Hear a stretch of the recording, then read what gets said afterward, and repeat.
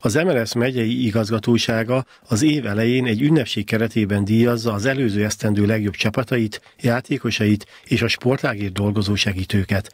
A keddi rendezvényen Kvaka Árpád igazgató elmondta, hogy sikeres 2016-ra tekinthetnek vissza, mivel nőtt a színvonal mind a nagypályás férfi, mind a női futballban, és Szabolcs-Szatmár Bereg megye válogatottja képviselte Magyarországot az amatőr Európa bajnoki selejtezőkön. Az ünnepségen 12 kategóriában adták át a legjobbaknak járó díjat díjakat. Nagyon fontos kiemelni, hogy azért ezeknél a díjazásoknál és ezekben a kategóriákban azért nem csak egy ember és nem csak egy csapat neve merül fel.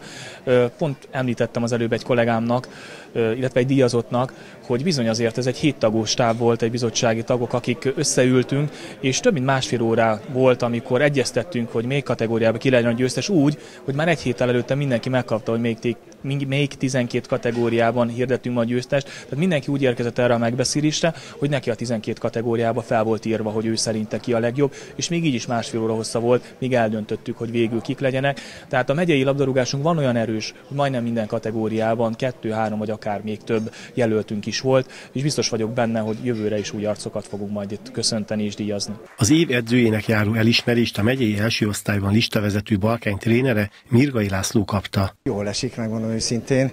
Valószínű, hogy ugye a, a 42 veretlen sorozatunknak is köszönhető, illetve hát, hogy 6 ponttal vezetjük a bajnokságot. De ez nem csak az én díjam természetesen, hanem a vezetőké, akik megteremtették a feltételeket, és hát a játékosok, akik maximálisan partnerek voltak a munkába. Az év női labdarúgó csapatának a nyírségen egy cit választották a szakemberek. Eddig MB2-be szerepeltünk, az idei évtől nem indultunk, mert egy csoportosra tették az MB2-t, ami azt jelenti, hogy Pécs, Sopron, Veszprém, nagyon-nagyon sokat kellett volna utazni.